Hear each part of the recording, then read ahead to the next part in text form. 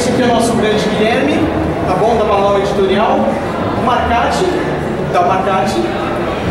Janaína Damino, o Kleber do Warp Zone e o Guilherme Deiswald da Jambô, tá bom?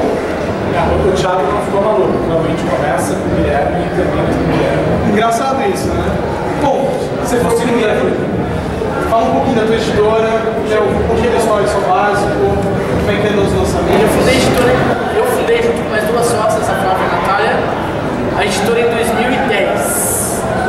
E de lá pra cá são mais de 40 títulos, nem todos os quadrinhos, são metade mais ou menos de quadrinhos. A gente publica também livros acadêmicos, livros de literatura.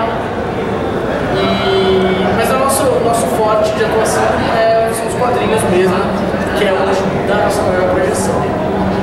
Em 2013 a gente publicou o Pop Marinheiro do, do americano, meio americano, meio australiano, Sam Harper. Isso valeu pra gente o prêmio HQ Mix de melhor publicação estrangeira.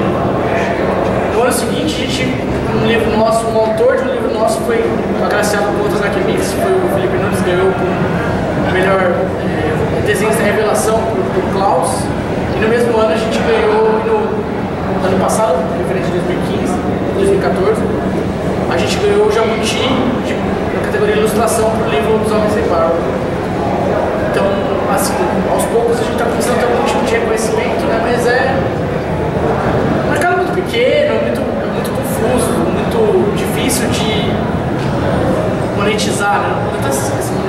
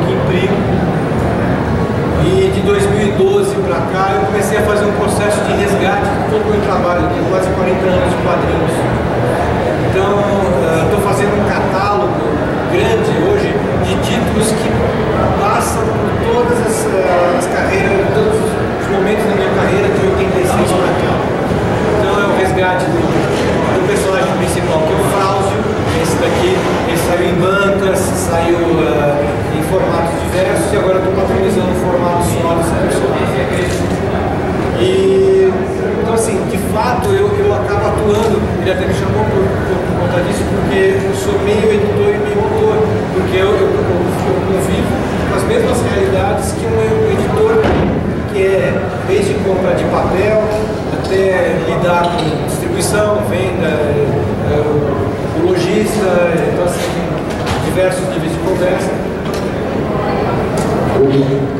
Ah, não precisa gritar.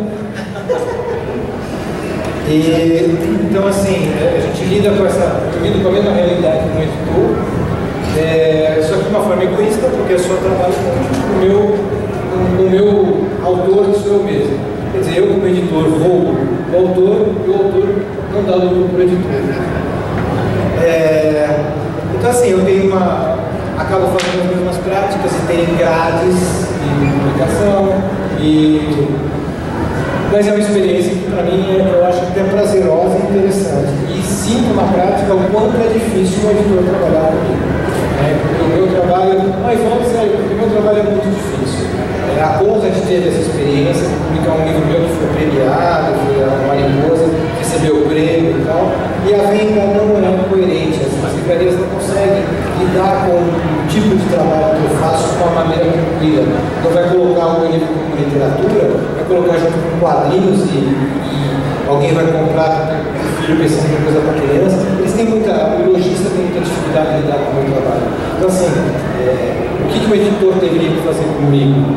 Teria que investir em equipe de treinamento de venda, PDV, botar gente para treinar o lojista vender o meu trabalho. Isso existe no nosso mas eu gosto muito dessa tarefa também de editar.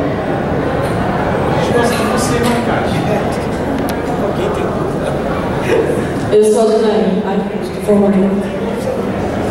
é, Eu sou a Janaína de Luna, sou editora da Mino. A Mino tem um ano e seis meses. A gente é novinho, mas a gente da figura Coelho. A gente já está, eu não sei, acho que é o 16 título. Em um ano. A gente começou em novembro. Um ano e sete, sete meses. É, então é, é uma coisa que eu não, não aconselho as pessoas a lançarem 16 livros em um ano e sete meses. Principalmente porque o caminho até tempo atrás era eu. Era quase uma carta, mas era eu e o Lauro.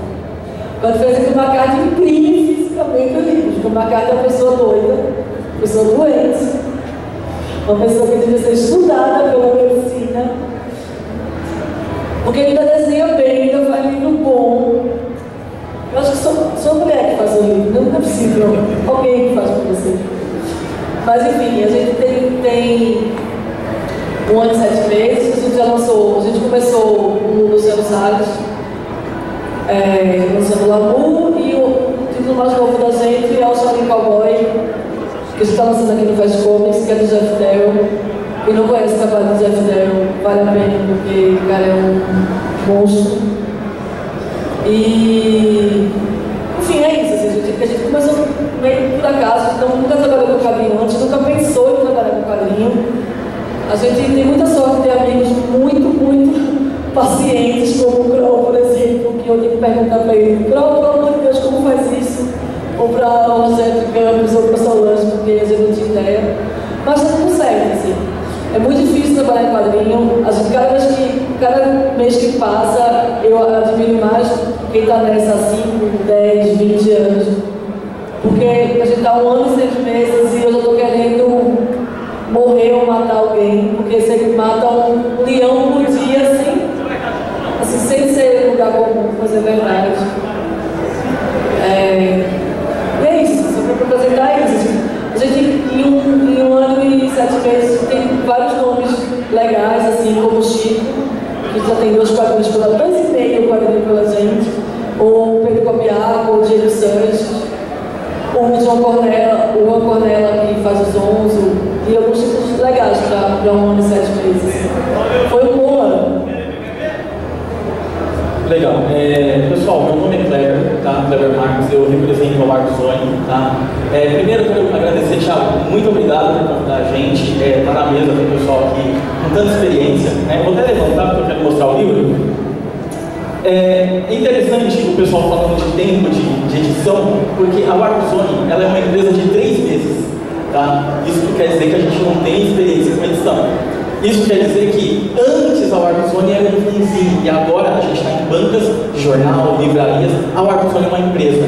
Né? E eu quero dizer isso para vocês que é a realização de um sonho, porque a gente coloca nas bancas isso daqui, tá? São os, os nossos lançamentos. Ah, mas não é quadrinho, todo mundo está falando de quadrinho. A Warpzone não é quadrinho. A Warpzone é revista que fala do quê? De jogos antigos todo fã de quadrinho, tenho certeza que todos vocês aqui lembram do Mario, do Sonic, do Nintendinho, Master System, Super Nintendo, é o nosso produto, tá? E interessante que a gente está falando em número de lançamento, a gente coloca quatro desses caras aqui por mês na banca. Então ela até comentou sobre a quantidade de lançamento. Em dois meses a gente tem oito livros de 100 páginas. A Warpzone hoje tem 16 pessoas trabalhando com a gente, tá? É, o que a gente faz aqui é um trabalho apaixonado, né? Não somos jornalistas, claro que não é um problema ser um jornalista, mas na Warpzone a gente tem psicólogo, dentista, metalúrgico, apaixonado por videogame que escreve sobre isso daqui. Né? E a gente quer se apresentar para vocês porque o mercado ainda não conhece a Warp Zone. A gente era a primeira revista independente sobre jogos antigos no Brasil. Né? Ah, uma coisa interessante que eu quero falar para vocês. A gente faz 55 mil unidades disso daqui e coloca nas bancas por mês. Tá? 55 mil unidades. Ah, quem já tinha ouvido falar de Warp Zone? Ninguém. Duas pessoas, legal. Excelente para o nosso fórum, né? Mas a nossa participação na feira é justamente para isso, para vocês conhecerem, para falar para o amigo de vocês, para o conhecido, porque a gente precisa de hoje de divulgação, tá? Tenho certeza, o trabalho de todo mundo que está aqui com a gente é um trabalho extremamente apaixonado, como nós. É um pouquinho diferente porque é videogame, né? Mas a paixão aqui é a mesma. E o resultado que a gente procura, como eu tenho certeza que vocês também procuram, ninguém vai ficar rico com isso daqui. A gente quer satisfação. Tenho certeza que vocês querem isso também, né? E é, essa nossa apresentação para vocês, tá? É, não sei se vocês lembram, só para fechar o que é o Warzone, quem lembra aqui daquela locadora um ninjinha dando um soco para frente para games? Pro games, né? Essa locadora existiu e a Warp Zone virou uma empresa graças à história dessa locadora, porque o meu sócio na Warp Zone, que é o Ivan, que está aqui com a gente, ele criou a rede de videogames nos anos 90. Tá? É, essa aqui é a história da Warp Zone. Né? A gente é uma empresa que lança material sobre retro games, tá? E estamos na Saraiva, Livraria Cultura, nas bancas, com certeza vocês vão ver bastante coisa nossa por aí. Como eu disse, são cinco exemplares por mês, são quatro livros e uma revista, tá? E exatamente isso, o que a gente quer fazer é isso aqui, ó. A galera ver o nosso material e lembrar de quando jogava. Ficar maluco na hora que vê o Mario ou o Sonic. É, ele, ele não me pagou nada. Realmente estou olhando o material dele. Tá bom? É, e Thiago, mais uma vez, obrigado mesmo pelo espaço. A gente quer mais apresentar o nosso trabalho para vocês, pessoal. Bom, eu sou o Luigi, né? É, o que gente já falou sobre o Guilherme, eu estou com um pouco de frio aqui, mas eu não posso reclamar, porque eu sou gaúcho, então tenho uma certa reputação a manter. E já que a outra forma de gaúcho não era muito, muito boa, é, eu sou editor da Jambô, nós publicamos livros de RPG, quadrinhos e literatura fantástica. Nós somos a principal editora de RPG do Brasil já há alguns anos. Ultimamente temos investido mais também em quadrinhos. Recentemente lançamos nosso primeiro quadrinho importado, que é esse aqui, Black Queens, é um quadrinho da Image, um quadrinho americano. Está tendo uma recepção bem bacana. E é isso, temos outros materiais legais, tipo esses aqui que são os livros jogos, talvez alguns de vocês conheçam, que é os livrinhos é, Aventura Solo, aqueles livros que tu joga e tu vai decidindo o rumo da história. Eles foram lançados aqui no Brasil originalmente no início dos anos 90 e a gente está trazendo eles de volta, porque são uma ótima introdução a esse mundo de fantasia, leitura e coisa nerd. Enfim, eu comecei esses aqui, então é tipo um craque na forma de é, acho que é isso. Vou ficar muito. Melhor a gente começar a conversar antes. Afligeremos o pessoal. Eu vou fazer algumas perguntas aqui para eles, mas estejam à vontade também. Quem quiser fazer uma pergunta, é só levantar a mão. Eu levo o microfone. Eu queria começar aqui perguntando para o Guilherme e para a Janaína. É, como, assim, vocês lançam alguns autores nacionais e alguns nomes que são de crescimento no mercado, Felipe Nunes, o, o Salles, o Iaco.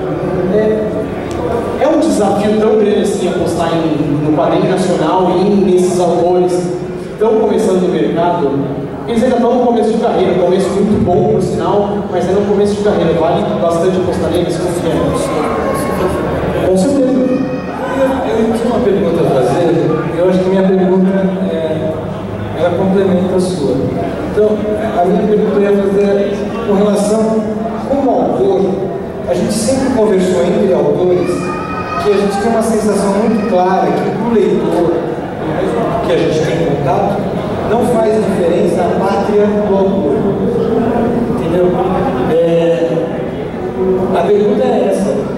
Se vocês, complementando isso, vocês sentem muita diferença, é, não, não o que é melhor, o que é pior, mas vocês sentem muita diferença, qual o nível de diferença entre trabalhar com autor nacional e com autor de é, é, vou responder. Primeiro, a sua pergunta é sobre os autores novatos. Eu acho que vale muito a pena porque todo mundo é meio novato, na verdade. Né? Tem, tem gente com estrada de 20 anos, de 30 anos de carreira que está publicando agora, mas é novato porque, ao mesmo tempo que as pessoas têm experiência em quadrinho e tal, o mercado editorial brasileiro de quadrinhos está se reconstruindo assim, junto. A gente está construindo estrada conforme está passando. Então, hoje tem, teve uma evolução técnico-científica de publicação que permite uma caixa publicar na casa dele, imprimir na casa dele, que não é possível 20 anos atrás. Não um preço acessível. Tem uma evolução que a gente pode diagramar os quadrinhos num arquivo digital, que há 20 anos atrás não era possível, você fazer prestap, que é um processo demorado. Você tem uma evolução de financiamento, você pode financiar coletivamente o quadrinho, você pode financiar pelo governo, via PROAC ou via outros programas de mecenato cultural. Então, o mercado brasileiro de quadrinhos está nascendo, na verdade. Está renascendo, quem é saudoso pensa no mercado dos 60, 70. Mas, do jeito que ele é hoje, todo mundo é novato. Está todo mundo indo. Então, todo mundo que escolher publicar vai ser um processo de construção. O autor vai estar construindo a marca dele e a gente vai estar construindo a nossa marca junto com o autor. Todo mundo está no começo. Não tem nenhuma grande empresa sólida. Todos nós aqui somos também iniciantes. Né? Então, acho que é um processo natural de investir em autores novatos mesmo, Nunes de Pedro Cobiaco, que tem 20 anos agora. Porque nós temos 20 anos agora. Nós temos 10 anos agora, nós temos 5. Essa é a nossa, nossa história, né? E a, a, sua pergunta, eu acho que tem muito preconceito do leitor contra o autor brasileiro, sim. A gente está começando a, a, demolir isso, mas é, é, uma coisa que eu penso sempre no paralelo com o cinema. Quando uma pessoa pensa, vou ver um filme brasileiro, qual o preconceito, né? Tipo, ah, vai ser meia boca, vai ser meio chachada, ou vai ser aquelas comédias da chata do Globo. Tem muito filme bom brasileiro, mas o pensamento inicial é não sei. Vamos ver, será que é bom? E é, o quadrinho sofre um pouco disso, um pouco menos. Um pouco menos, eu acho. Mas eu sempre penso esse paralelo. Se a gente tem algum tipo de preconceito com o cinema nacional, a gente tem esse mesmo preconceito com o quadrinho nacional. Porém, os autores brasileiros, eles são, são parte dos principais nomes do estrangeiro também. Né? Então, seus gêmeos hoje em dia, que são grandes nomes lá fora, né, que são respeitadíssimos. O Leonardo, por exemplo, que é gigante na Marvel, é É, o Leonardo, ou o Gustavo Duarte, que hoje é o tapa nos Estados Unidos. Então, tem esse tipo de, gestão técnica que os brasileiros são respeitados lá fora. Mas o leitor, assim, a gente vê aqui mesmo, tem um milhão de gente entrando lá na Comics para comprar o quadrinho da marca da PC, que é gringo. Assim, essencialmente, por mais seja desenhado fora ou escrito fora, ele é um quadrinho, um produto americano, né? Então eu acho que pode ser um leve preconceito, mas ele está sendo desconstruído. O nosso trabalho também é desconstruir isso, eu acho. Então, eu vou inverter a ordem, eu ia dar para o que o Guilherme estava falando agora sobre Tá, tá dando dúvida. É, sobre o que você falou. Eu, eu concordo em partes com esse, com esse negócio que o Gui falou agora do preconceito que existe. Eu acho que a gente tem dois tipos de quadrinho no Brasil, assim, enfim. Tem dois tipos de quadrinho. A gente tem, a gente tem um quadrinho mainstream, que é o quadrinho mais super-herói, o quadrinho mais de indústria, que às vezes nem é tão indústria, porque tem um monte de gente fazendo tipo quad, ou que, que faz um quadrinho nacional, que não é exatamente super-herói, mas tem uma pegada mais a ver com esse tipo de quadrinho mais mainstream. E a gente tem uma cena de quadrinho autoral, que, que é, é, é outro tipo de quadrinho, outro tipo de, de pegada, outra proposta, outras coisas todas.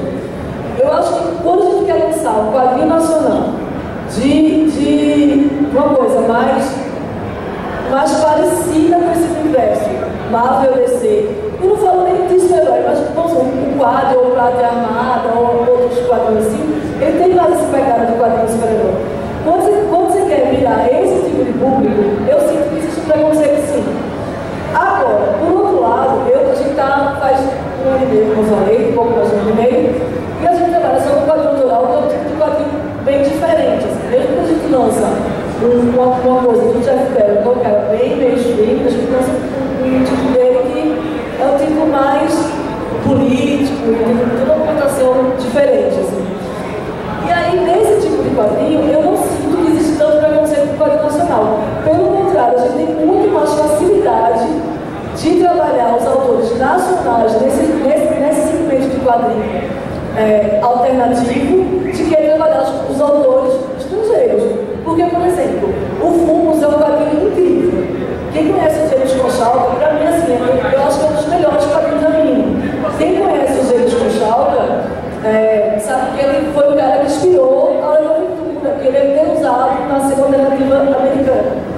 Só que no Brasil ninguém conhece ele, ou quem conhece, enfim, é, conhece só uma tinha que ele faz American Elf, por isso, o cara já ganhou mais, o cara já ganhou todos os prêmios do mundo.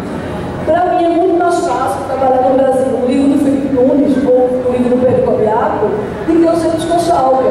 Apesar de ter um nome muito maior lá fora, mas esse, esse, esse, essa coisa. E eu acho que grande, grande parte disso é, acontece porque nossa cena de quadrinho alternativo, eu gosto tão, mas enfim, desse quadrinho mais autoral, ela é muito baseada no autor, na convenção, na, no, no evento, no, na palestra, no bate-papo. E quando a gente não tem um autor para fazer esse tipo ação, o livro acaba ficando, ficando é, dificultando essa venda. Assim. Então é, é engraçado. Assim. Mesmo, e, e, outra coisa também, a gente lançou o livro do Deodato, que, que é o primeiro livro autoral do Mike Deodato. O Mike Deodato é estrela onde, onde chega em qualquer competição, ele é top, top, top. Mas as pessoas que consomem o Mike Deodato não querem consumir o Mike Deodato eles querem consumir o Mike Deodato fazendo, é, fazendo o Star Wars que ele está fazendo agora, ou fazendo os Vingadores que ele está fazendo na época do filme. E, e, é difícil trabalhar. Esse tipo de quadrinho, eu acho que sim, tem muito preconceito. E às vezes é preciso o cara estourar lá fora, como o Gustavo Duarte, para ser reconhecido aqui dentro. Assim. Mas no quadrinho autoral, graças a Deus, eu acho que esse negócio é um pouco diferente. É bom pra gente, né? E bom, bom pro quadrinho nacional. E a outra pergunta que você fez, eu não esqueci era. Não, essa foi uma. Ah, não, trabalhar com autor. Trabalhar com autor. Não, Você trabalhar com autor novato. É, autor novato. Então, é, a grande diferença que eu, eu acho que, que é, com autor novato e. Mas a gente negócio internacional também. Ah, essa que a gente falou. Então, mas internacional também sabe a diferença? É que quadrinho internacional, a gente já pega ponto, né? Eu e Gui, a gente, eu sei que eu sou muito do Guilherme, espero que seja muito amigo, amo ele. É, é, e o Gui é um puta editor. Nós temos poucos editores que editam o quadrinho do Brasil. Sabe? Que editam no sentido de trabalhar, assim. É, de pegar a obra no começo e, e direcionar, não direcionar positivamente, mas enfim, estar lá pro autor, discutir, trabalhar a obra. Quadrinho estrangeiro a gente não tem essa possibilidade. Eu, eu não contribuí em nada com o Jeff Darrow fazendo a de cowboy. É da Dag Rossi, alguém que fez com ele. Eu assinei um contrato e tentei caprichar na tradução e fiz umas notas explicativas. É o máximo que eu posso fazer, o melhor trabalho que eu posso fazer. No quadro nacional não, a gente pode contribuir muito mais. Agora, um, um autor novato, é, a mim, a gente, a gente tem alguns autores que são considerados novatos, assim, como o Pedro Capiaco e o Nunes, que vai um quadrinho com a gente agora no fim do ano, ou até mesmo o Diego Sanches. Só que apesar de serem novos, eles estão há muito tempo fazendo quadrinho. Eu acho muito. A gente está fazendo quadrinho já faz 8, 7. Muito tempo que eu que nosso mercado. É, 7, 8 anos fazendo quadrinho. Eu acho que. Que eu, não, eu não considero, pelo, pela bagagem que ele tem, eu não considero nem muito. Talvez na hora que o Guilherme trabalhou com ele fosse mais novato, mas o menino ele aprende rápido, né? E eles estão mandando muito bem, assim, muito. muito bem. Acho que é isso mais falou. dar água para o vinho aqui nas minhas perguntas. Vou fazer uma pergunta agora para o Guilherme da outra ponta, tá? que depois eu vou remeter ao, ao nosso amigo da Warpzone, Kleber. É, Guilherme, como que é trabalhar o RPG? Obviamente que ele tem um cenário hoje muito melhor do que alguns anos, mas com uma disputa onde uh, a tecnologia do videogame é muito mais acessível, muito mais barata, como que essa concorrência funciona para você? Como é que você vê isso? Cara, questão de concorrência entre mídias. Uh, é um pouco aquela história do fim do livro. Ah, surgiu o rádio, então vai acabar o livro. Surgiu a TV, não, agora o livro vai acabar. Ah, surgiu o livro digital e o book. Não, agora é certo que o livro acaba.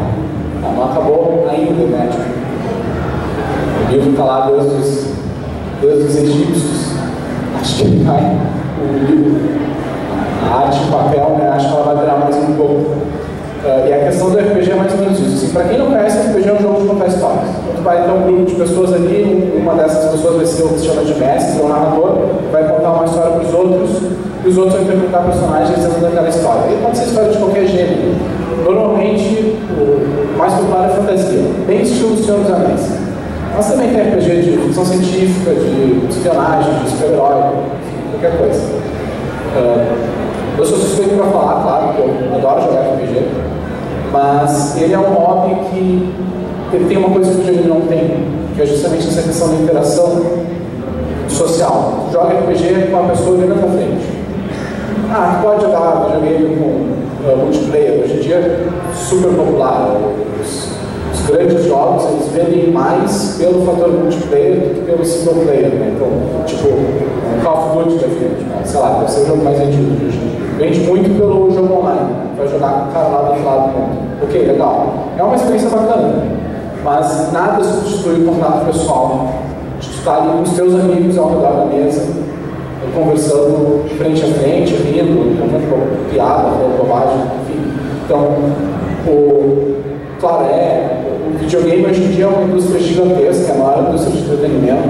Né? Já faz alguns bons anos que o videogame gera mais dinheiro do que cinema uma coisa que tem gente que não sabe, mas a indústria de videogame já é maior que, que Hollywood, mas esse aspecto do, não só do RPG, assim, mas do tátil no geral, para mim nunca vai existir enquanto nós, seres humanos, então vou dar uma filosofada agora, formos seres físicos e a gente ainda tiver esse prazer de tocar na coisa, tipo, eu nunca vou substituir um livro por um e-book em iPad. Tipo, ah, Nunca não. É, é super prático ter o, o teu o Google, o Kindle, ou o que quer que seja. Mas tu ter aquele livro ali na prateleira, bonitinho, é outra coisa, entende? Não, uma não substitui necessariamente a outra. Ah, tu quer dar um livro de presente. Aí tu chega lá, ah, comprei um livro para ti, tá lá na tua conta da época. Não tem muita graça, assim, pelo menos eu não vejo. Agora, tu chegar e dar um livro para a pessoa é muito legal. Então é a mesma coisa do RPG. Claro, às vezes vai querer jogar videogame, é um entretenimento muito mais fácil. Para jogar RPG tem que convidar o pessoal, marcar horário, ter um lugar para se reunir. E no RPG você só chega em casa, liga o aparelho, e no videogame você só chega em casa, liga o aparelho e está jogando. Mas uma coisa não, na minha opinião, não substitui a outra. Assim. Tanto que, tipo, eu, eu jogava muito videogame quando era criança, hoje eu jogo menos, porque o tempo é muito limitado, né? todo mundo que trabalha, tem vida adulta, sabe como é que é, e o tempo livre que eu tenho eu quero passar para os meus amigos, não sozinho no quarto com uma tela. Tá falando que assim, estou bem depressivo. Jogar videogame não é depressivo, é legal, mas eu prefiro jogar videogame.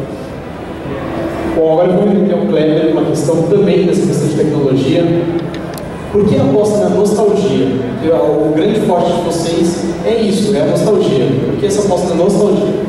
Olha, a aposta na nostalgia da Warzone vai totalmente de encontro ao que o Guilherme acabou de falar. Por quê? É... Quem joga isso daqui, ou seja, o jogo antigo, o retro game, é o cara que não quer jogar sozinho. É o cara que se juntava com os amigos nos anos 90 para jogar mesmo o RPG em casa, em grupo. Entendeu? Não é o cara que gosta de jogar online. O cara que gosta de chamar a galera para jogar de 3, 4, 5 jogadores em casa. Né? E hoje tudo é retrô. Hoje você tem disco de vinil sendo lançado, cassete, VHS, e existe um mercado gigante de pessoas que gostam de retro game, de jogo antigo. Todos os consoles antigos hoje possuem desenvolvimento atual. Gente fazendo mídia física de console antigo. São fãs, as pessoas que cresceram jogando aquilo hoje produzem isso. A gente está vendo um monte de é, retorno de filmes antigos, né, de remakes. Por quê? Porque aquela criançada hoje tem dinheiro para comprar a galera está apostando nessa, nesse, nesse grupo de pessoas, que é a nossa aposta também. Um cara que jogava um jogo antigo, ele jogava o Sonic, jogava o Mario, hoje ele vai criar o Warzone e depois o próximo passo é o livro-jogo. Né? Por quê? Porque tem tudo a ver os nossos universos. Aliás, a gente vai conversar que existem projetos para a gente fazer junto. Tá? É, essa é a nossa aposta. Por quê? Quem lê isso daqui é o cara que vai ler para chorar. Tá? É, por quê? O cara lembra daquela melhor época da vida dele. Ele alugava, ele comprava 25 centavos de uma ficha no fliperama e tinha que voltar para casa correndo, fugindo do pai porque ele estava lá escondido, porque era um lugar de maloqueiro. Entendeu? Exatamente. Esse, essa é a nossa aposta porque a gente viveu isso e a gente sente falta disso. Por isso que a gente está trazendo de volta. Bom, eu fiz uma pergunta para cada um, mas eu não perguntei Marcati, porque a gente falou de quadrinhos, a gente falou de jogos e a gente falou de música. Eu creio que, eu honestamente, eu conheço o material do, do Rastro Porão, do lançamento, mas queria que você contasse como é que foi o, o início disso lá no ano passado. É, por, por que fazer um quadrinho do Rastro Porão? É bem simples. Por incrível que pareça, o João Gordo, aquela figura grosseira, boca suja, é um cara estupidamente profissional, competente e lúcido. Impressionante. Eles me chamaram para fazer a capa do Disco Brasil em 89. É, eu não conhecia pessoalmente. Acho que sim, conhecia no sentido de se encontrar muito na galeria do rock, aquela coisa, mas conhecer mesmo a pessoa. Aí eles me chamaram para fazer a capa do, do, do Brasil, a gente sentou, a partir daí eu comecei a perceber nele um, um profissionalismo, uma seriedade, uma competência extraordinária. A gente pariu aquela capa com, com uma precisão cirúrgica. E em seguida fizemos o disco Anarcofobia. Na mesma metodologia, na mesma lucidez e tal. E saiu a Anarcofobia, que foi em 90, ou 91, se não me engano. Ele, ele falou assim, ó, vamos parar, né? Ele brincou assim, vamos parar porque a gente não quer que o Marcati faça a capa do Ratos de Porão como o cara que faz o Iron Maiden, né? Nossa, o mesmo cara que faz todas as capas, não, próxima capa já não vai ser mais você. Aí eu, pô, falei, legal, acho justo, mas ao mesmo tempo falei, ó, eu lamentei por não poder continuar aquela parceria produtiva. Aí eu falei pro João, falei, João, se a gente fizer uma revista em quadrinhos, o Rato Porão. E, pô, tá, ele adorou na hora, porque inclusive ele desenha, né? desenha muito bem João. Aí ele falou, vamos fazer, aí a gente começou a projetar. Então a revista nasceu da, da, da minha admiração pela capacidade lúcida e produtiva do, do João. Tá, eu vou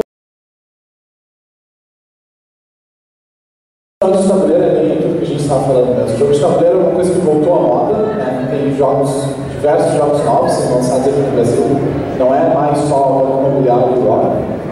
E a ascensão desses jogos de tabuleiro é, pelo menos, coisa que a gente tinha falado, né? a vontade de estar um tempo com os amigos, ou com a família. É, quase tudo que a gente faz é para isso. Né? Tipo, ah, o futebol, fim de semana ali. Também, tipo, tudo bem, eu gosto de jogar futebol pelo futebol, mas é muito também para estar com aquele pessoal que curte. O, nós temos alguns planos envolvendo jogos de tabuleiro, mas porque o público do RPG e do tabuleiro é muito similar e a gente sabe que tem muita gente que curte o Metragem de Tormenta e que quer ver esses personagens, essa história nessa outra mídia que é o jogo de tabuleiro. Nós estamos com um de produção, não dá para dar muitos detalhes, nós queremos apresentar por um esse ano, mas nós não vamos entrar muito no tabuleiro. Foco mais editora RPG já tem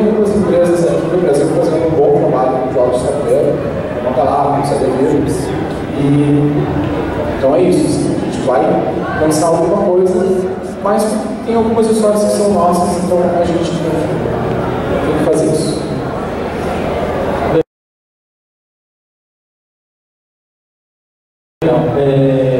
Essa é, pergunta foi excelente, porque é, é algo que a gente pensa assim. Eu sou entusiasta desse tipo de quadrinho relacionado a videogame. Eu coleciono é, o que a para Sampa lançou, Scala. Então eu sei que você está falando ali do Capitão Ninja, você está falando de Street Fighter, Mortal Kombat, que era artista nacional que fazia. É, quando a gente fala do Capitão Ninja, do Marcelo Cassado, é, Street Fighter, a Neide Harui, quem mais? Tinha o próprio Alexandre Nagalo que fazia o Blue Fighter. Eu adoro isso. Né? Então a gente tem planos disso sim. Na nossa revista bimestral, que a primeira edição sai agora em julho, tem uma uma de um personagem que a gente está trazendo com a revista, que é o Pixel Ninja. É um personagem autoral do nosso ilustrador, né, da Warpzone. E a gente tem também um personagem que ainda não criamos um nome porque vai ser um concurso na revista, mas no nosso estante aqui fora, vocês conseguem ver, é o único estante da feira que tem um cartucho pendurado no lugar do nome do estante. É uma fita de Ali. Esse é o nosso personagem criado que vai virar quadrinho sim, e a gente tem hoje é, um projeto já em andamento com um autor que eu sou extremamente fã, é, aliás, um roteirista chamado Ataíde Braz, que lançou um, um dos primeiros mangás no Brasil, mangás, mangás brasileiros, é, nos anos 80, e a esposa dele, que é a Lady Harui, que a gente, aliás, a gente cita a esposa dele aqui, porque, claro, eu sou extremamente fã dos dois, quando a gente falou de Street Fighter aqui, eu cito a Lady, e ela desenhou as capas e algumas páginas de aqueles vizinhos do Jaspion dos anos 80, Street Fighter, principalmente da editora Scala. Então, esses caras, porque a gente adora o trabalho deles, a gente quer retornar com alguns e apresentar para o mercado novos. Então, uma...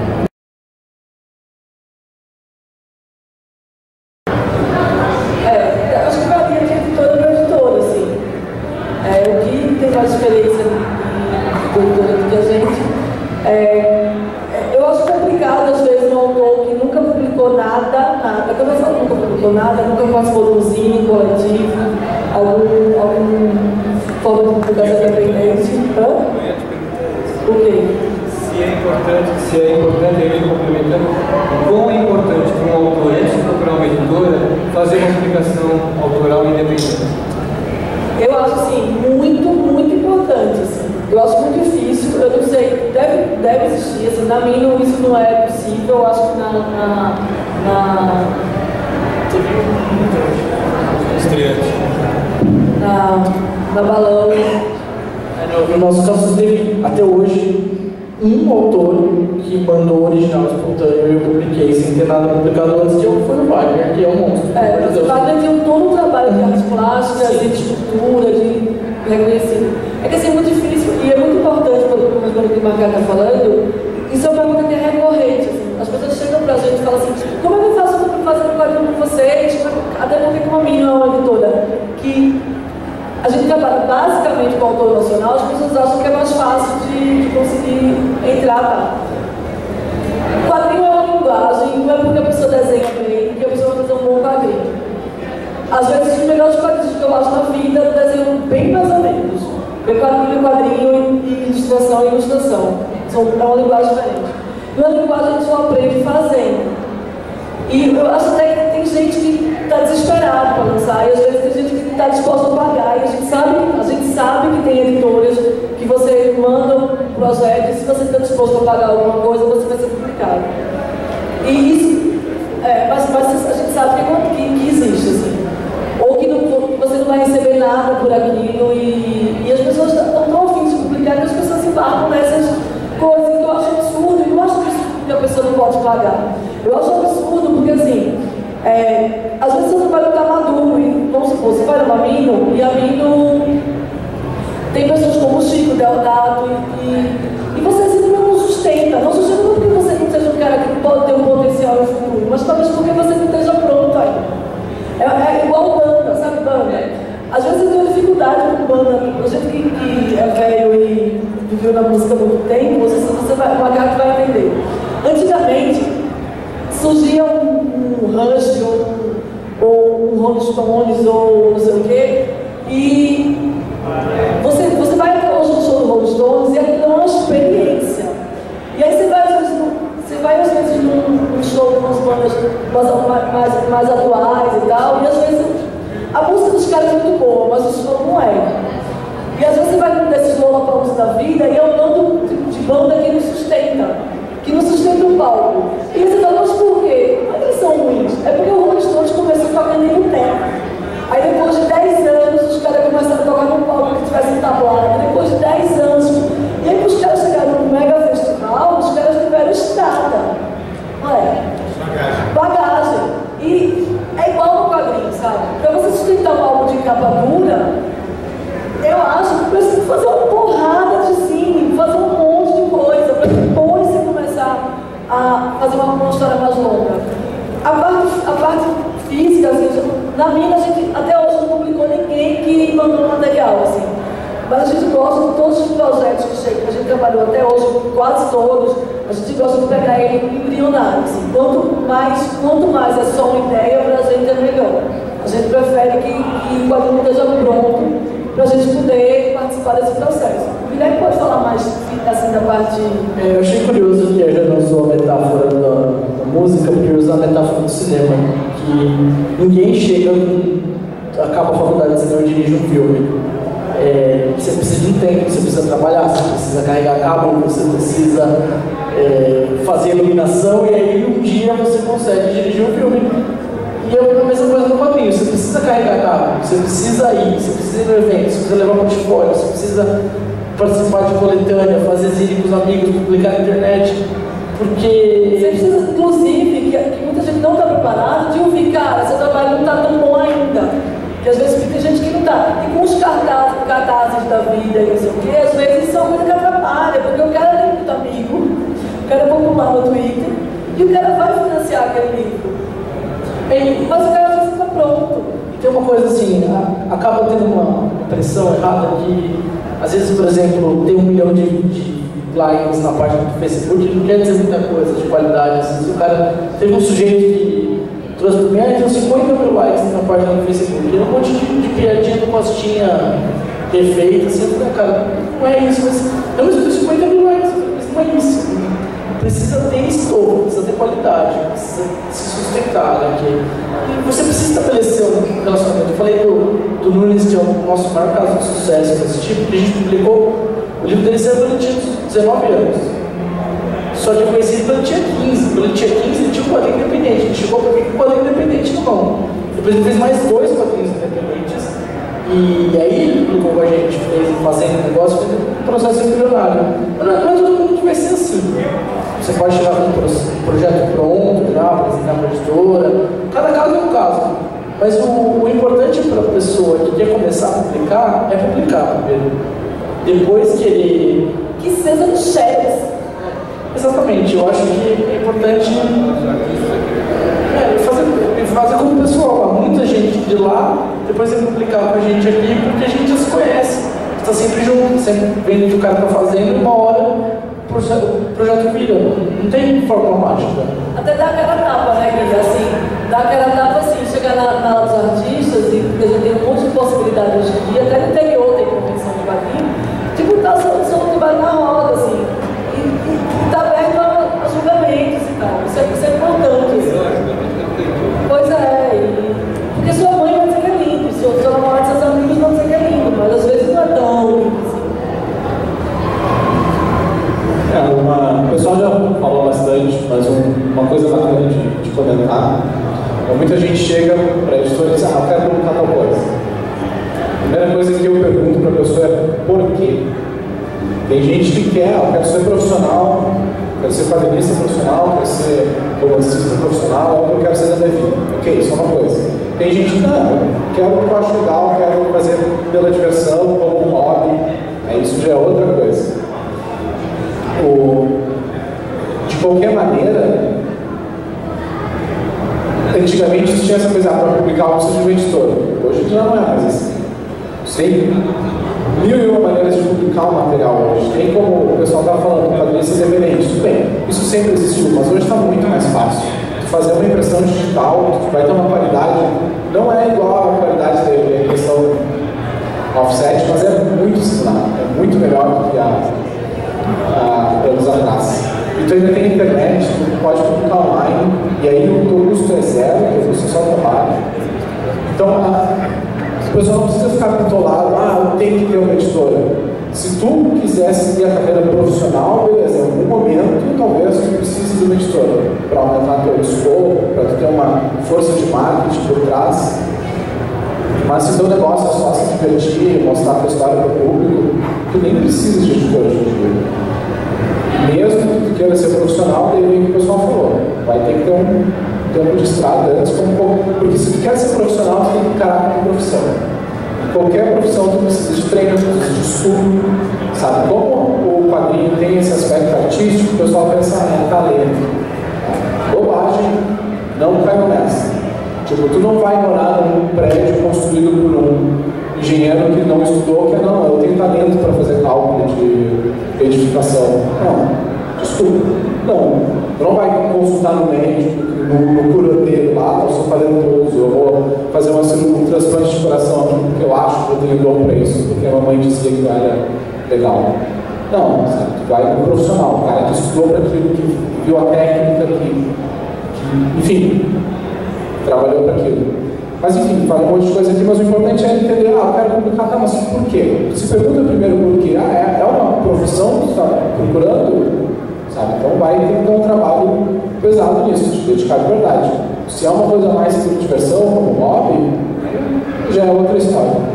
Só queria complementar, assim, porque às vezes, eu, eu não acho que foi isso que você dizer, mas às vezes, é, só para pontuar, que a importância do editor não deveria, pelo menos, ser só uma ferramenta de marketing ou, ou, ou um, divulgador, uma, uma estrutura.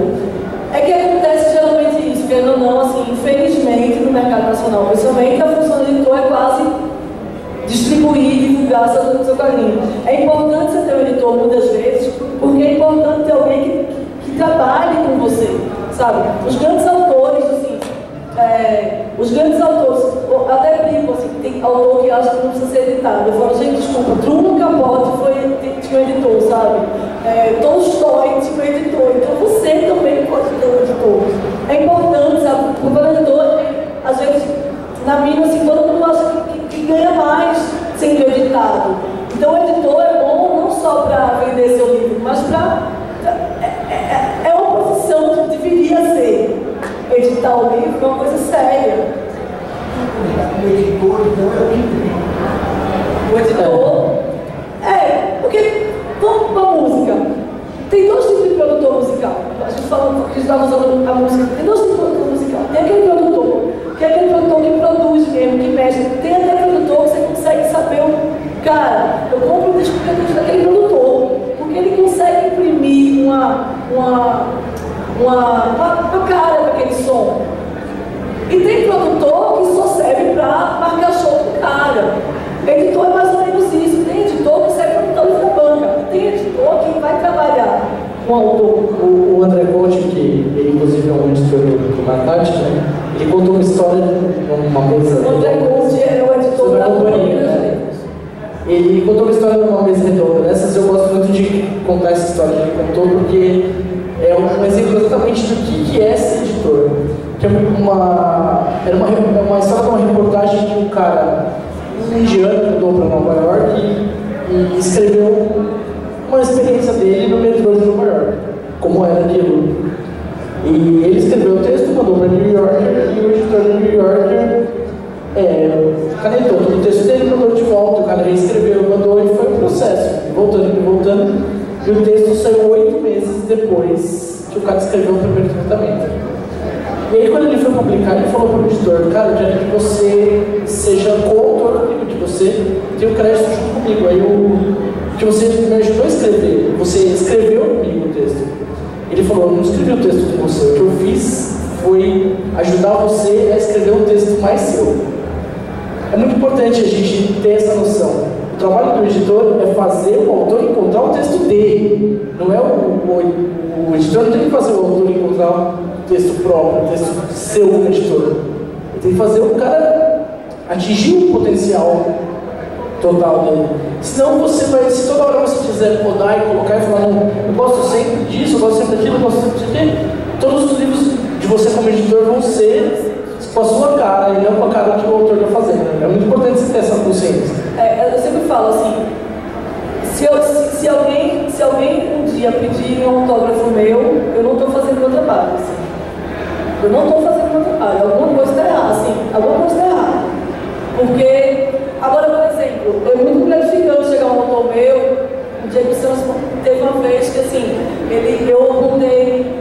Eu estava trabalhando num livro que era Hermínia, que foi publicado pela mim, e aí tinha uma parte que eu achava que estava muito repugnante. E às vezes o autor tem aquela ideia apegada, se apega naquela ideia, e é difícil conseguir batalhar com ele assim. E aí eu falei, cara, isso aqui está funcionando, isso aqui não está funcionando. E aí eu comecei a puxar ele, não escrever para ele, nem dizer que ele tinha que fazer, mas desafiar ele, falar que não estava bom. E ele até ele produziu outra, outra sequência. E aí é, e ele estava super com essa sequência, que era uma sequência incrível. E ele falou que não queria, eu falei, vamos, por favor, não sei o que. Ele mudou. E ele falou assim, e ele estava achando que, que, não funcionava, assim, porque ele estava muito inseguro, assim, era, coisa, era uma mudança muito radical, mas eu achava que, que era para onde ele devia ir. Assim. E aí, é, eles, várias vezes falaram assim, cara, é a parte do meu livro que todo mundo fala, cara, quando eu li aquilo, eu falei, nossa, esse é o melhor, esse é o verdadeiro quadrinho do Diego Sanches, sabe? Assim, tipo, cara, essa parte é muito você. Porque é isso, tá ligado? É muito, exatamente. É, não é que eu falei, não, você tem que fazer assim, assim, assim. Mas é, é gratificante demais você, você conseguir tirar um meio que ele dê o melhor. É quase treinando futebol, sabe? É fazer com que o cara dê o melhor dele. Eu só queria fazer um comentário. Existe no Brasil uma confusão muito grande do que é editor. Né? A gente tem um nome, a gente tem o mesmo nome para duas tarefas absolutamente diferentes. O Vitor Tivita não era editor, ele era publicador. É que é o publisher. Em inglês tem essa. A gente usava isso na década de 30, o publicador e o editor. O editor é um funcionário. O editor não é o dono da editora, não deveria ser. É, o quadro, o editor é aquele cara que faz exatamente essa tarefa de ficar é, dialogando com os autores. No Brasil, ou porque as editoras são pequenas, acumula-se a função de publicador, editor, publicador, editor, publicador, editor, e, por conta disso, caiu em desuso o termo publicador. Então, uh, editor ele pode mudar de editora num outro cenário, ele poderia mudar de editor e acompanhar os autores. Porque aquele cara fez um bom trabalho com o autor. Isso, isso no Brasil tem muito essa confusão. Então, às vezes, você vai falar com uma editora grande, você não está procurando o editor certo. Você tem que procurar o editor certo. Ou ser procurado o editor certo. Porque o publicador não quer saber não ser de números. Esse é o publicador.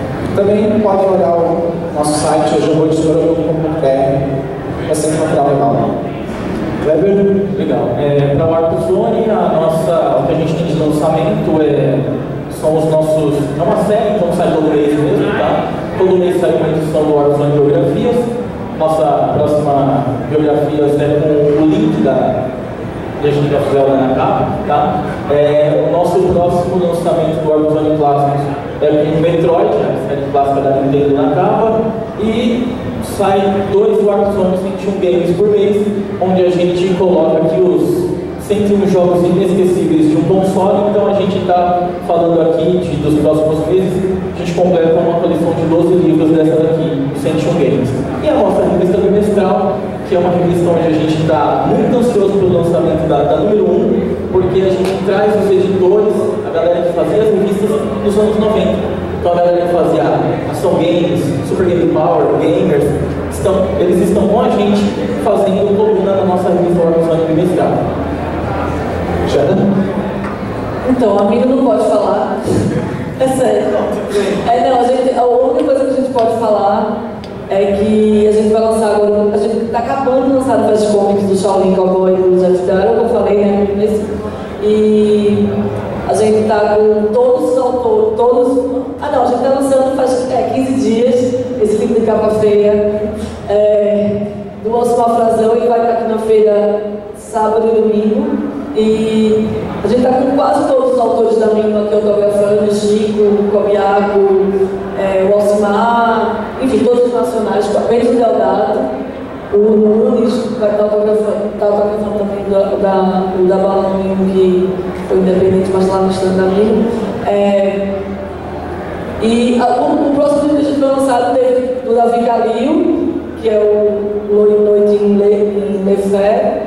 O resto a gente não pode falar porque é tudo segredo, né? A gente é muito misterioso. Primeiro, rapidinho, ó. eu tenho eu venho num trabalho de resgate que eu falei, que eu estou fazendo Frauso, um personagem meu que está fazendo 15 anos esse ano. Eu estou resgatando das 13 histórias que eu fiz até, até hoje, eu já resgatei cinco álbuns que foram saídos em bancas e tal. Eu já estou no quinto. Até agosto do ano que vem eu já consigo resgatar todas as 13 histórias lançadas nesse formatinho e com a história inédita, uma história inédita para o final do ano agora. E o projeto que eu estou agora envolvido é na revista do Ratos Porão, da banda Ratos Porão, que começou com o resgate, né, uma reedição da número 1 de 93. Vamos fazer agora em setembro a número 2, ou também a reedição da número 2, e até o final do ano é possível que a gente faça a tal número 3. Só uma coisa, se alguém vier aqui amanhã, eu vou estar é, junto com meu filho, autografando lá no meu stand. Meu filho é escritor, ele fez três trabalhos comigo, e esse foi o último que saiu pela Ubra. E ele, é, a gente vai estar às quatro da tarde fazendo uma sessão de autógrafos aqui comigo, os, os três trabalhos que a gente fez juntos. Gui, é, eu queria agradecer o convite, agradecer a todos os, os colegas da, mesa, que foi um prazer debater com vocês. E, às vezes a gente está no nosso trabalho todo dia falando que gosta, né? Tô, tô só tomando na cabeça aqui, mas a gente vê que tá todo mundo igual, então até uma livre continuar. Né? A gente lançou, faz tempo que a gente não lança nada por causa das dificuldades financeiras aí, mas daqui umas duas semanas a gente vai lançar Ritomes do Jorge Shaw. E para o segundo semestre a gente pretende lançar mais coisas, mas depende muito do dinheiro e de como vai ser. Então se vocês quiserem contribuir com isso, passe nosso stand, comprem livros lá. A gente está de frente com o stand. Obrigado. Bom, eu queria agradecer ao pessoal aqui da banca, a todo mundo que assistiu aqui o debate. A gente encerra por aqui. Obrigado.